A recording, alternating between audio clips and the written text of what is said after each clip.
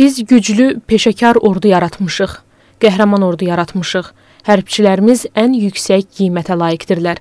Bunu prezident İlham Əliyev Novruz bayramı ilə bağlı əhaliyə müraciət edərkən bildirib. Biz müharibə dövründə şəhidlər verdik. Allah bütün şəhidlərimizə rəhmət eləsin. Allah onların yaxınlarına səbir versin. Biz Şuşanı qan tökərək azad etmişik. Şuşa uğrunda ciddi döyüşlər gedirdi.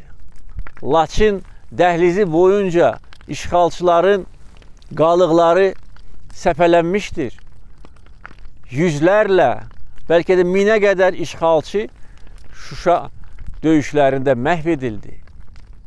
Sıldırım qaylardan qalxaraq, dərədən, təpədən keçərək, Xocavənd meşələrindən, cığırlardan keçərək Şuşaya gəldik.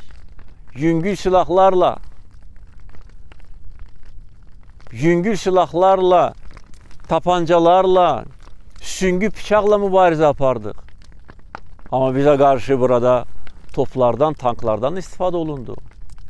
Amma düşmən bizim gücümüzü gördü, iradəmizi gördü, milli ruhumuzu gördü və məğlub oldu. Şuşanın azad edilməsi, vətən müharibəsində xüsusi yerə malik olan hadisədir. Şuşa bizim hədəfimiz idi və bu hədəfə doğru biz gedirdik. Və Şuşaya qədər bütün azad edilmiş torpaqlarda Azərbaycan ordusunun yerləşməsi Şuşanın azad olunmasını da şərtləndirmişdir.